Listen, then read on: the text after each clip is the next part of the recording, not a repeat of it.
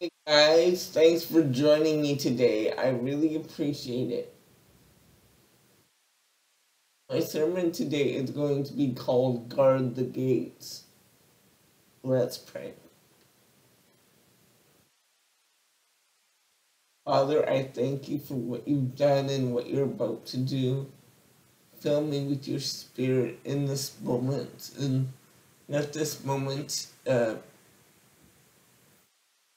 be beneficial to, to our hearts, mind, and spirit, God. Open up the windows of heaven. Pour out a blessing to us that we will not have room to receive.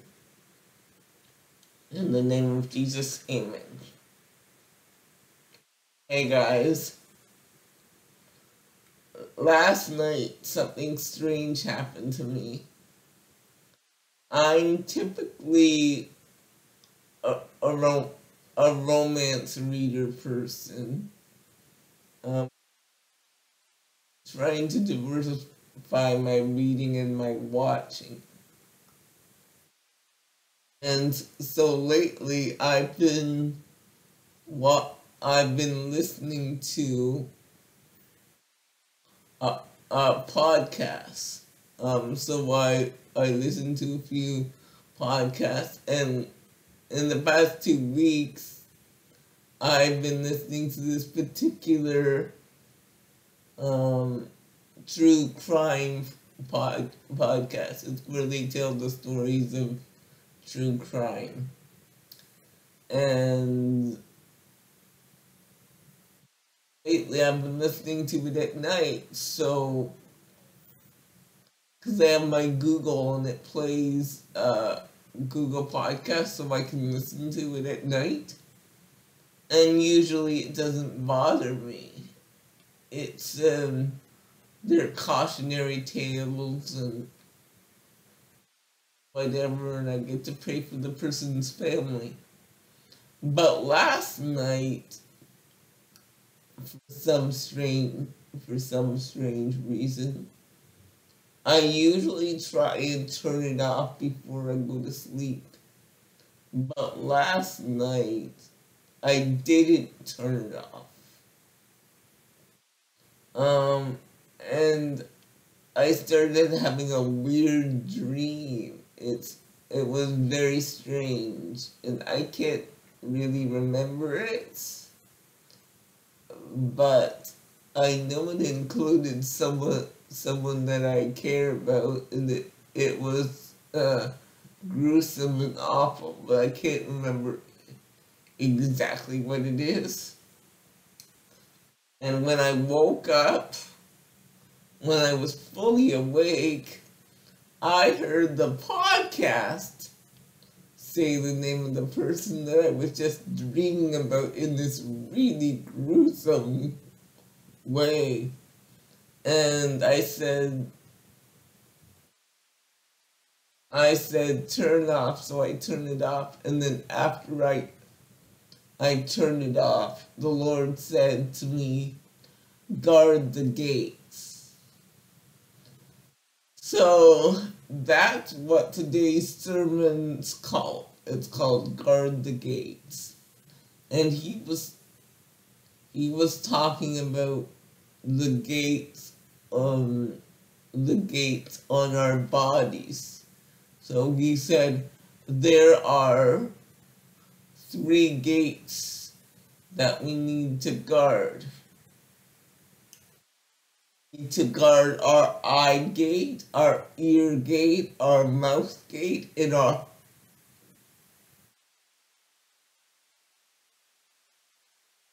because all those things go down into our hearts. So everything we uh, digest okay, let me explain it this way. Uh, we all know that we have a physical um, digestive system where when we eat something, it goes down to to do our body knows what to do with with what we eat. So everything we eat has has things in it, and whatever we eat goes down into our bodies, and our body takes what it needs and gets rid of the rest. Um, so, through the course of digestion, it goes in our mouth, down our esophagus, to our stomach, and then our body uh, breaks whatever components down and uses whatever components. That's what I, I remember from uh, grade 7 science. Um, and then once our body breaks the components down and takes what it uses, takes what it needs, it gets rid of the rest. That's our physical digestive system. So the Lord says, so it is natural, so it is in the spiritual. So everything we take in goes down in our system. It, you, our system uses it, but the but the one thing about our our souls, our mind, will, and emotions, and our spirits, it doesn't have um, we don't have a spiritual excreting system. We have to, in the physical, our body naturally gets rid of whatever it needs to get rid of. Um, but in our spiritual life or or our emotional life, our body doesn't have a way to get rid of it, so we ingest it, but there's no spiritual pooping system where our body can uh, naturally excrete waste every couple days or every day. So what happens spiritually is what when we ingest something through our uh, through what we see, what we watch, or what we hear, it stays in our body and it plays on our mind because our our our spiritual lives don't have an excreting system. So that's why we need to be careful about about what we listen to and what we watch or what we ingest because there's no system to get rid of it. Although the Lord could help you get rid of it, you need to help the Lord out in this regard. Um, to be careful of what you're ingesting and what you're saying and what you're listening to and what you're seeing. I was watching uh, this thing um, on Netflix about um, the internet and how it can get in about the technology, about the AI technology and algorithms and how algorithms work uh, um, algorithms are designed that when you click on something, it it monitors how much how long you stay on that particular click. From that, it gives you a click like it. It gives you a click like it and like it and like it and as many click clips as you click on, it knows what you like, what you gravitate to because the algorithm gets to know you. And they said for children this is dangerous because um, when when a child clicks on something, um, sometimes they can't differentiate the difference, and people um, who are just are just looking at advertising. They don't care that your child is looking at something. Let's say self-harm let's say someone uh, um, a teenager clicks on something harmless um, I don't know, clicks on one of their favorite show and it's a really harmless show. But the advertisers can, from that show, maybe um, give them a self-harm video because other people that have watched that video have have watched this same self-harm video so it all gets lumped together and then you like like on YouTube when you click on a video the videos don't stop they just keep going and going and going and going because the algorithm remembers what video you like. No shade on YouTube. This thing will go on YouTube. Um this sermon will go on YouTube just when I'm finished. It's a wonderful tool, but we need to be careful how we're doing it, what we're ingesting and what we're watching, because it is insidious. Um, and the Lord wants us to really be careful of what we what we see, what we hear, what, what we say, and what we get into our hearts because the Lord says the Lord says like the stomach is for the physical body the spiritual heart is for the um, spiritual body and the emotion and the um, and the spiritual soul.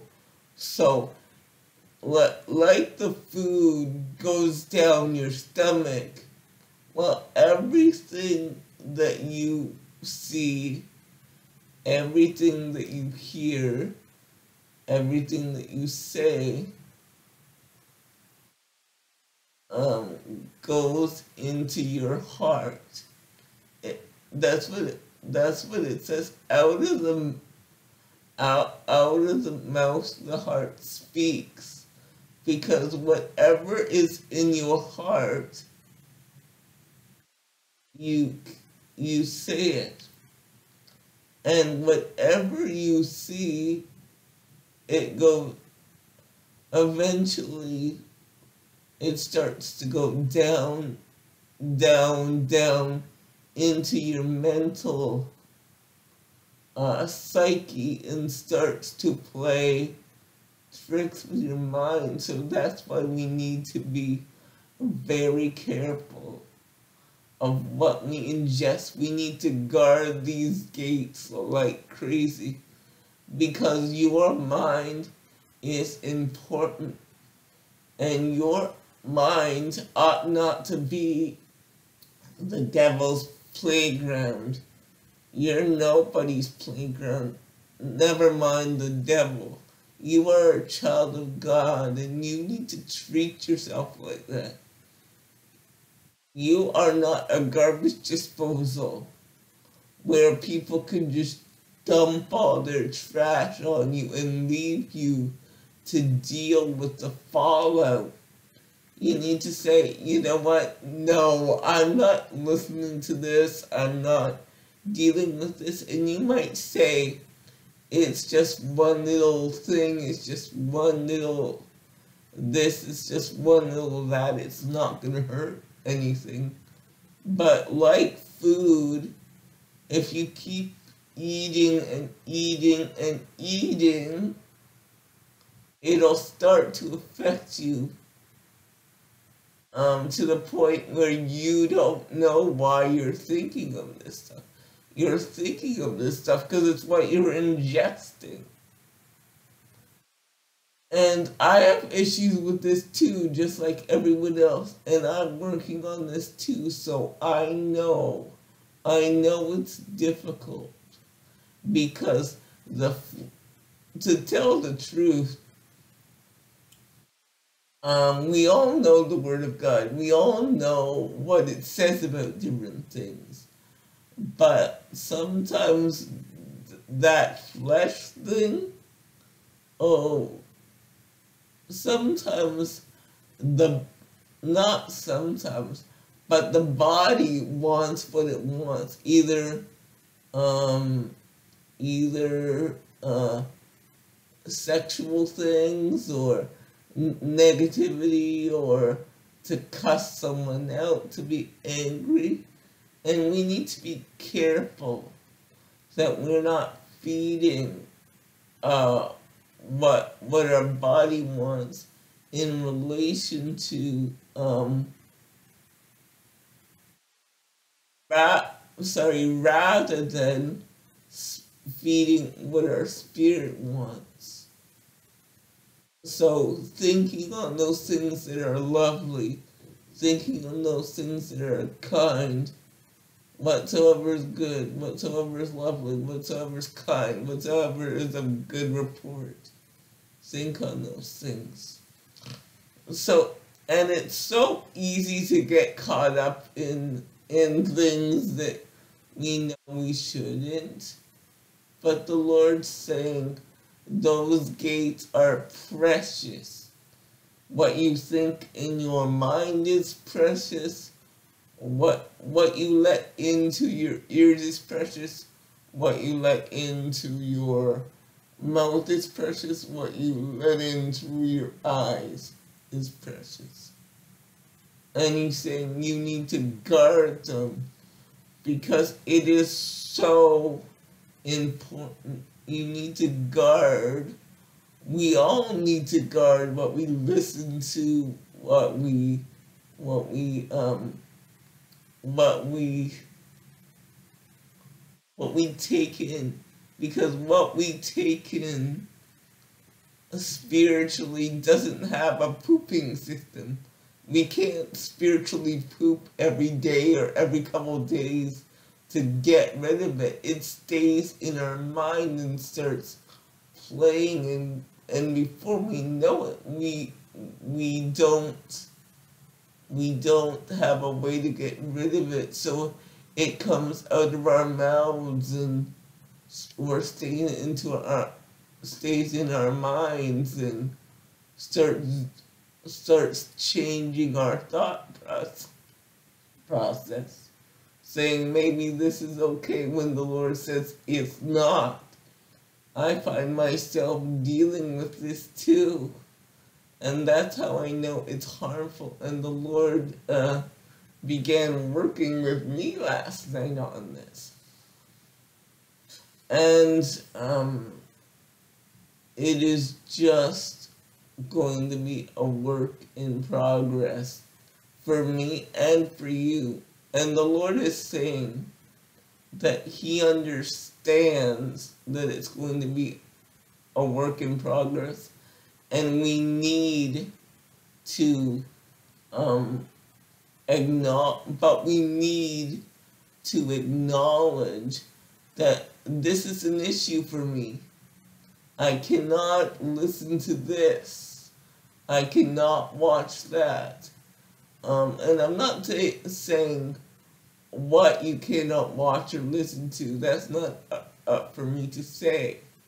But I will say that you have to let the Spirit guide you. And sometimes you cannot watch what your friends are watching. You cannot watch the shows or you cannot listen to the music that your friends are listening to sometimes I may be able to listen to a kind of music that will send you into um, into tailspins, or I may be able to read a kind of book that um, may send you into a tailspin. And sometimes you say, you know what, I can't do this. Or sometimes um, the Lord may use a certain kind of novel or something to say um, that may seem like it's not for you to listen to, but he knows that you're talented. So he will use that for his glory because he knows, unlike some people, you can turn it around because of the gift he's given you and use it for his glory. So I'm not going to tell you what is right to listen to or what whatever, but I'm saying guard that space. It's precious. And everybody's gates and what they can take is different. Um, they're like, for example, um, I'm part of a book club. And there, when I saw the book in March that they are going to be reading, I said, you know what? No, I can't. I can't do this because I, uh, um, talking about the World War II and the Holocaust is a trigger for me. So, so whereas some people can read it and feel sad and just move on, I lose sleep for at least a week reading something like that. Reading anything about the Holocaust makes me lose sleep for about a week and whatever. So, and the Lord said, You don't need to read this book. I said, Okay. So I said, I'll, I'll, uh, I'll join them next time because my ear gate and my eye gate, we, I can't digest that. I can't do that because that'll leave me up for a week. Um, so I had to make that decision based on my personal thing. And it's not because I, I love the book any less. It's just because my personal ear gate and eye gate and heart can't take that without um, without letting it send me into a tailspin. Um, So be careful of what you let into your ear gate, your eye gate, your mouth gate, because it's, or what comes out of your mouth gate. Or, and it also has to do with who you hang around with too. Because who you hang around with, who you're influenced by, can really um, lift you up or bring you down. Peer pressures are really uh, uh, is a real thing. And it's not just peer pressure doesn't mean just high school students. Peer pressure could mean anything. Peer pressure could mean people at at church are are going to do this thing but but your ear gate, your eye gate can't take that because it sends you into a tailspin. Or it could mean, you know, people at church always talk. People at ch- your your circle at at church or at school or wherever always talk negative so you were a positive person, but they start rubbing off on you because it's what you've been around. So just be careful. Make sure the people that are around you strengthen your eye gate, strengthen your ear gate, and can uh, are speaking life to you, not negativity. Are speaking, you can do all things. You you you can and will be what God has called you to be. You are a priest. You are a king. You are you are one of God's children. Um, so guys, be careful of what you let in because what what you let in is very hard to get out. Once you let it in and once you start playing it starts playing on your mind, it is just very hard to get out. And sometimes, most times, it starts with a just a whisper. Oh, you can watch that. It doesn't matter. It's just little something. Or you can read that. It doesn't matter. It's just a little. And then a little becomes a lot, and a little becomes a little more and a little just does all that until you're so messed up, you're so confused, you don't know what's right or right or wrong. And the Lord's saying, you can come back to the, today, and it can start today. It doesn't have to be, oh, I'm doomed, I wasn't careful. What do I do? he's like, start today. Start at this moment. And you don't need to be worried about um, what is this gonna, what are they gonna say, what are they gonna do, because you're the one who has to be up dealing with this. You're the one who will deal with the consequences of watching that thing, of viewing that thing, of, view, of viewing that 24 hour news cycle with all that depressing news. You're the one that's going to have to deal with all that stuff playing in your mind.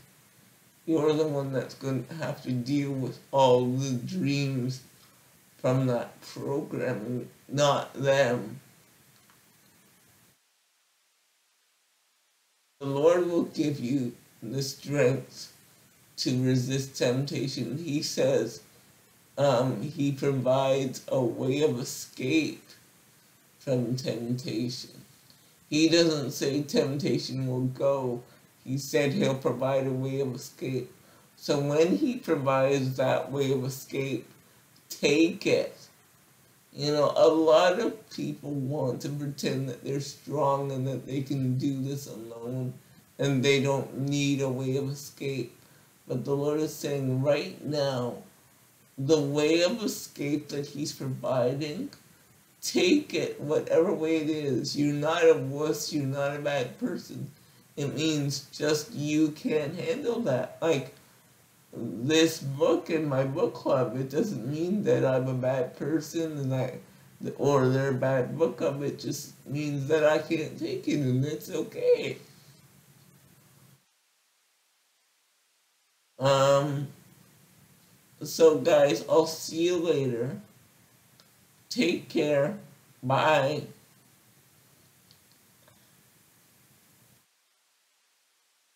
Lord Jesus, help us to uh, understand what where our weaknesses are and help us to take the way of escape that you provided. Thank you, Lord. In the name of Jesus, amen.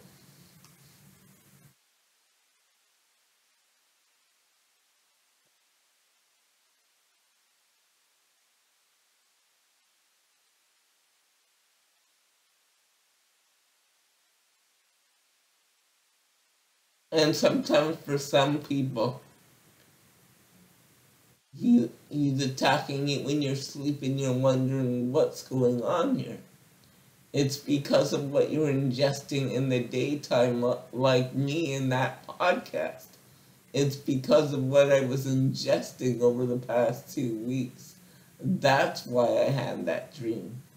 So I need to be careful of ingesting that kind of stuff. especially before I go to sleep.